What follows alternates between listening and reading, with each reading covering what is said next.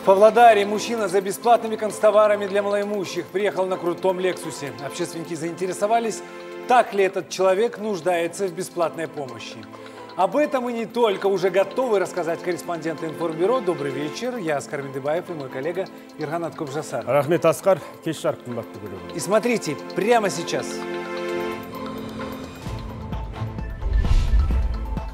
Чиновники Министерства образования ответили на обвинение своей коллеги в коррупции, что заявила вице-министр МОН госпожа Жакупова. В качестве медиа-шантажа, наверное. Ответ секретарь Арын Орсариев также не остался в стороне. Ранее директор одного из департаментов министерства обвинила свое руководство в давлении на нее. Чем может закончиться этот скандал? Пострадавшие при наезде в Алматы рассказали свою версию произошедшего. Кто спровоцировал конфликт? Сергей Хан утверждает, что не участвовал в драке и его сбили по ошибке. Сели за автомашины, соответственно, и начали совершать на нас наезды. Новые подробности громкого дела через несколько минут. Блинникомом в Карагандинской области на 4 месяца раньше всех внедряют обязательное медицинское страхование. Связываю, что будет улучшение, облегчение для пациентов. Почему именно этот регион выбрали в качестве пилотного? Какая польза будет для жителей? Что от проекта ждут пациенты клиник? Правда или нет, что выяснила специальная комиссия при посещении Руднинского детского дома. Подтвердились ли ужасающие факты? Сообщалось, что в учреждении грязно, а детей называют не по именам, а по номерам. Так ли это? Кто никогда Лизу, нашу Лизу, которой сегодня 4 года, никогда не называл номером 5? Что будет с детьми-инвалидами? В Министерстве образования Казахстана разгорается новый громкий скандал. Высокопоставленные чиновники этого ведомства сегодня ответили на обвинения своей коллеги о фактах коррупции. Ответственный секретарь министерства Арын Урсариев прокомментировал жалобу Анар Каирбекова о хищении бюджетных средств и давлении на нее.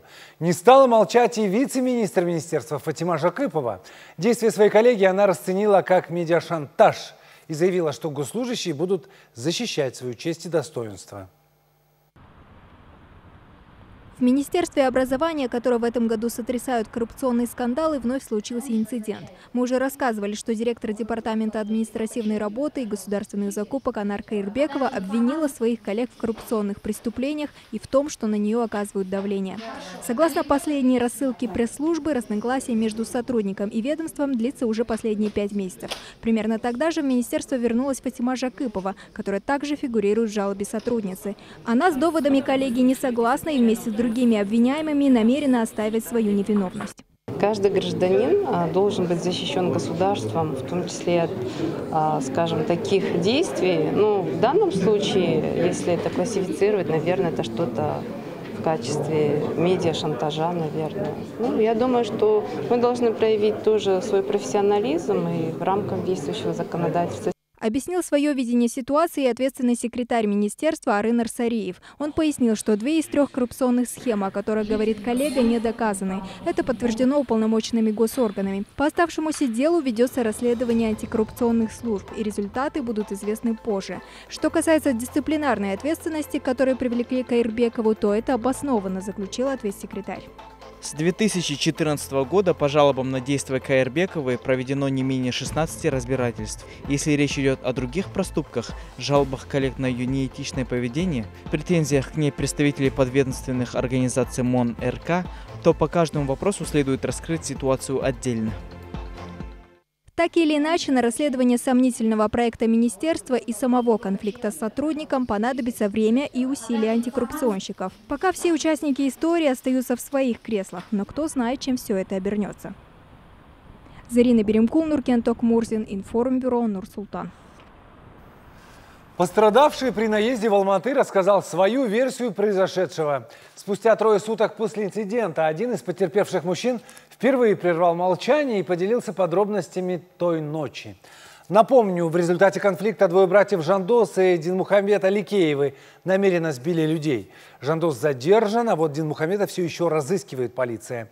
Накануне их мать дала эксклюзивное интервью нашему корреспонденту, где рассказала, что юноши таким образом защищались – а сегодня пострадавший Сергей Хан опроверг ее слова.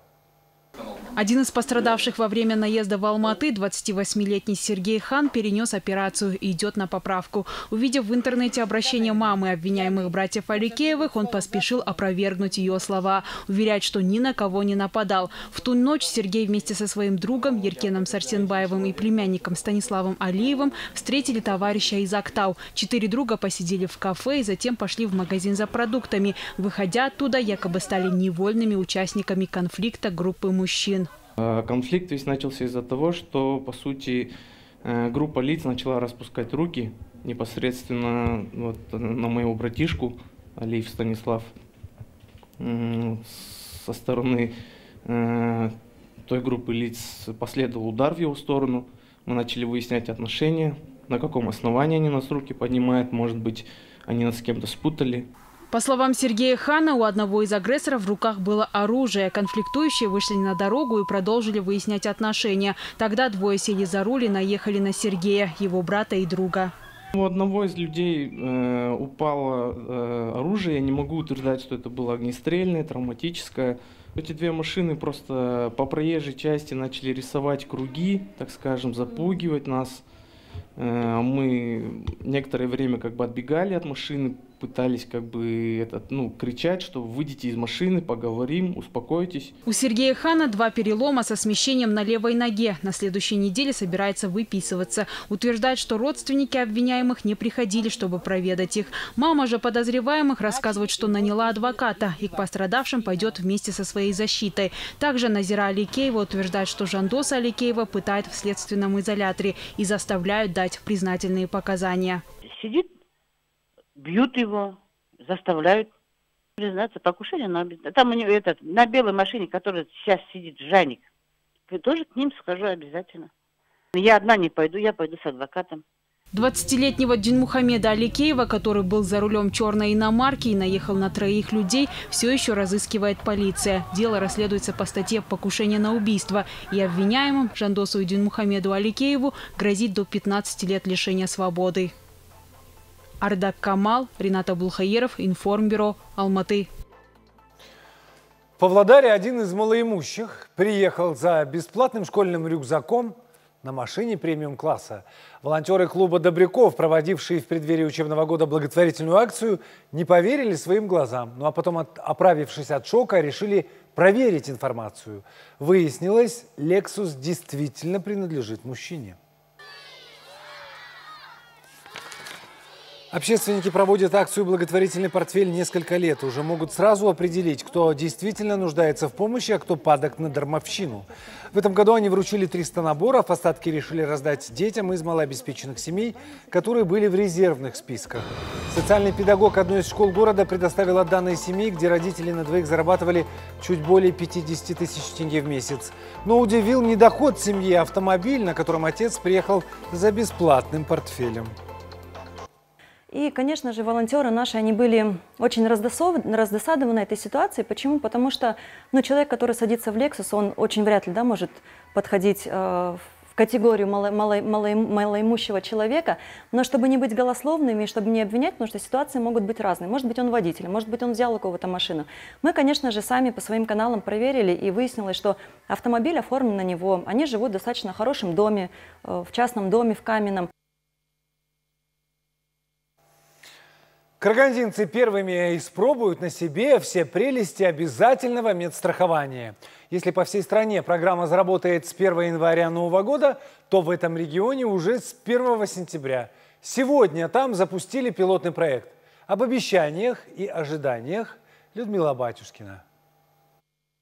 Ирина Филиппова, у которой целый букет серьезных заболеваний, обслуживалась в частной поликлинике в рамках госзаказа. И, по ее словам, никак не могла добиться направления на операцию или хотя бы дневной стационар. Надеется, что, будучи застрахованной, получит больше как пациент.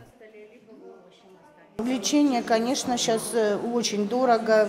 Допустим, процедуры там или обследования. Да, и тоже взять МРТ, КТ. Некоторые не могут э, ну, воспользоваться. Если по стране медстрахование стартует с 1 января, то в Карагандинской области уже с 1 сентября. Жителям региона повезло, считают в Минздраве. Взносы они начнут платить с 1 января, как все, а дополнительную помощь получат раньше. В рамках пилота ничего дополнительно жителям Карагандинской области платить не надо. Э, деньги выделены 2,3 миллиарда тенге из республиканского бюджета. Карагандинскую область выбрали пилотный, потому что здесь быстрее всего связали в единую электронную базу данных все медицинские организации. В отличие от всей страны, которая получит доступ к пакету СМС с 1 января 2020 года, уже 1 сентября вы можете обратиться к своему врачу общей практики, пройти э, профилактические осмотры. И медицинские организации в этом заинтересованы, имея контракт с фондом, чтобы эти услуги оказать. К чему приведет очередной эксперимент, сказать сложно. Одни еще не утеряли веру в инициативы сверху. Другие уверены, что государство перекладывает расходы на медицину с бюджета на плечи населения. А вот про качество говорить можно бесконечно. Людмила Батюшкина, Ирина Нинашева, Информбюро, Карагандинская область.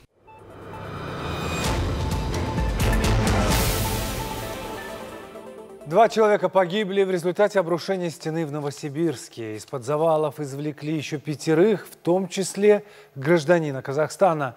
Он выехал в российский город из Экибастуза на заработки с целью в будущем перевести туда всю свою семью. А что за здание было?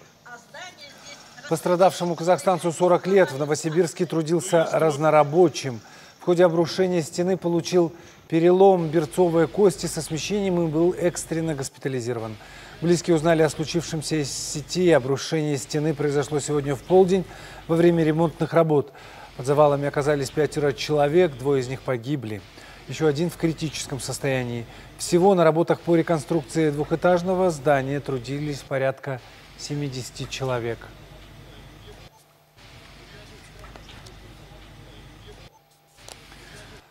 По меньшей мере три человека погибли из-за проливных дождей в Японии. После продолжительной жары на страну обрушились ливни и вызвали оползни и подтопления. Более всего пострадала южная часть. Власти объявили эвакуацию более 800 тысяч человек. Метеорол, метеорологи присвоили угрозе максимальный пятый уровень. Проблема в том, что ливни пока там не прекращаются. Судя по видео, записанным очевидцами, во многих местах улицы практически ушли под воду. Реки выходят из берегов. Местами выпало более 100 миллиметров осадков. Вооруженные силы Японии отправили солдат на помощь в пострадавшие районы. В городе Сага затоплена железнодорожная станция. Вы смотрите «Информбюро». Продолжаем выпуск. Уволенная руководительница специализированного дома ребенка в Рудном опровергает обвинение. Ранее проверяющие из Нуратана рассказали о вопиющих фактах содержания детей, о том, что воспитанников вместо имен зовут по номерам, не выводят на прогулки и многое другое. Все подробности в следующем материале. Этого мальчика как зовут, Танюш? Ренатик, а то кто рядом с тобой? Вова, а кто Вова у тебя? Маленькая Таня быстро информирует, кого и как зовут. Свои имена дети знают. Это первое, что мы выяснили, войдя в Руднинский специализированный дом ребенка. Хотя ранее члены экспертной группы из Нуратана заявили о том, что воспитанников здесь всех пронумеровали. Никто никогда Лизу, нашу Лизу, которой сегодня 4 года, никогда не называл номером 5 да, она сидит у нас на горшочке 5, вытирается полотенцем номер 5. Но Лиза, у нас Лиза, у нас даже детей, извините меня, по фамилии-то не называем. Иногда, когда кто-то спрашивает. А так у нас Лиза, Лизавета.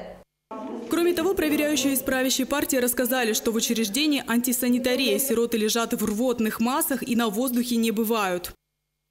Они были красные, обработанные костелянным маслом. Это пролежни. Пролежни являются признаком низкого качества ухода лопнувшие места, но это не пролежни, а как трофические язвы называют их. После громких обвинений руководителя учреждения уволили, а в Руднинский дом ребенка отправилась комиссия из Костаная. В ее составе чиновники, врачи и партийцы. Здесь э, детей с пролежнями мы не обнаружили, э, грязи мы здесь не обнаружили, шприцов мы здесь не обнаружили. Э, дети, которые сегодня находятся здесь на паллиативном лечении, вопрос их прогулок на воздухе – это медицинский вопрос. В Руднинском доме 28 детей. Все они с нарушениями психики и с органическими поражениями центральной нервной системы. Грубых нарушений комиссия не зафиксировала. Работники учреждения намерены отстаивать свою честь, в том числе и уволенная руководительница. Тень и вот эта вот грязь вылита не только на меня, как на главного врача. Там уже пишут, что дети содержатся в детском доме ненадлежащим образом. То есть это э, тень на весь коллектив. Коллектив и я, мы будем бороться, да. Тем временем, обнародовавшая все эти факты, Динара Закиева от своих слов отказываться не собирается и уверяет, что у нее есть доказательства, но передать их прессе считает неэтичным. Работники детдома, в свою очередь, тоже готовы предоставить по требованию видео с камер видеонаблюдения. Нина Шапой, Елена Досова, Информбюро, Костанайская область. А вот жительнице Павлодара во второй раз пришлось испытать шок – в прошлом году Ажар Сагандыковой прислали квитанцию для оплаты налогов на недвижимость на имя покойного отца, который скончался в 2014 году. Тогда представители налоговой службы извинились, сама женщина обошла все необходимые госорганы. Но несмотря на все предпринятые меры, в этом году извещение на умершего человека пришло снова. Как издевательство, как оскорбление, нанесение все-таки и морального вреда, потому что вновь Эту квитанцию видала мама, она нервничает, это неприятно всей семье. Они извинялись, да, просили, чтобы я пришла. А, я приходила к ним, думаю, ну ладно, бывает, там база, сбой, но в этом году я уже никуда не пойду, и я думаю, что налог я платить не буду, налог пришел на покойного отца. В управлении госдоходов сообщили, похожие ситуации иногда возникают, но якобы не по их вине. Всю информацию они получают из правительства для граждан. Почему прошлогодняя ошибка произошла вновь, не знают. Скорее всего, специалисты, несмотря на резонанс, снова забыли внести исправление в базу.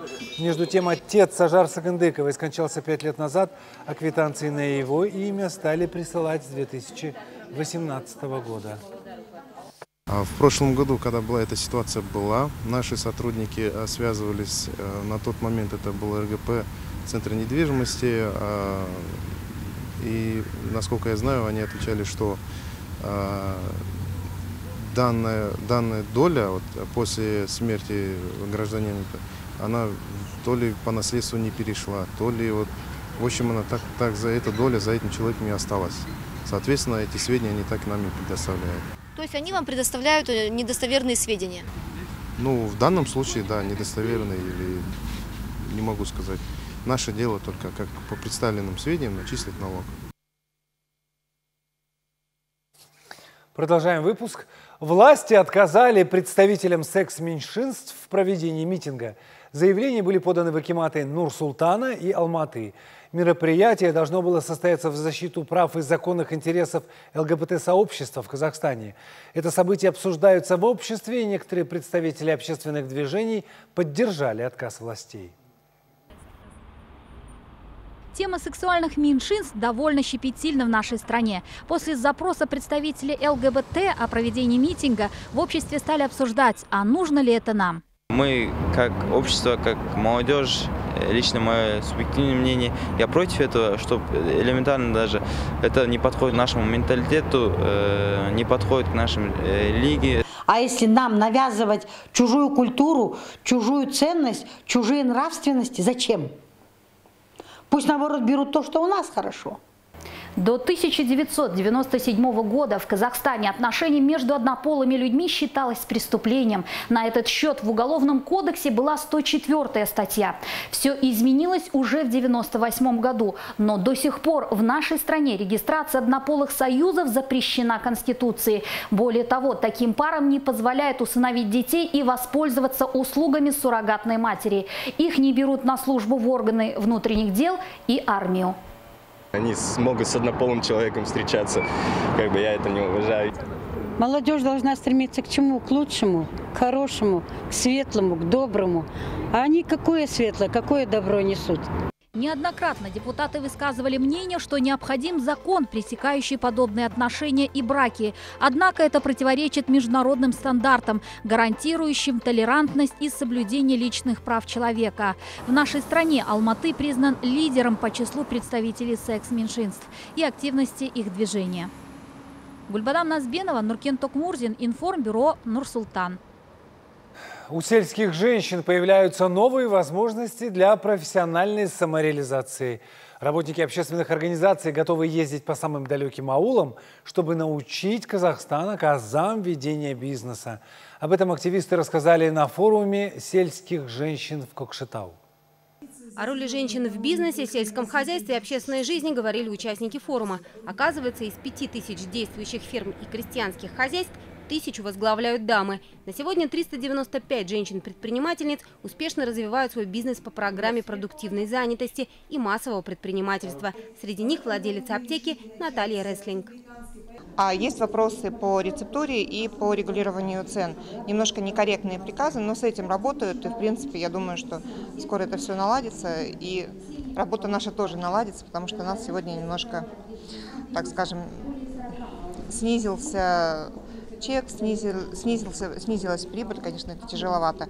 В этом году 662 женщины обучились начальным азам бизнеса в рамках проекта «Бастау бизнес». Выдано на развитие бизнеса 108 кредитов на общую сумму 382 миллиона тенге. Женщинам идут навстречу, выезжая к ним даже в самые отдаленные аулы. Не каждая женщина на селе, она бросит дом, поедет учиться на два месяца куда-то и будет без оглядки брать э, кредиты, потому что она же думает о семье, думает о детях. Э, надо сначала женщину учить. Впрочем, в Акмолинской области женщины реализуют себя не только только в бизнесе. Так, среди 276 депутатов маслихатов всех уровней 70 – дамы, 147 – руководители первого звена в госорганах, 56 работают акимами сельских округов. Асем Караулова Ербулат Асылбеков. Информбюро Акмолинская область.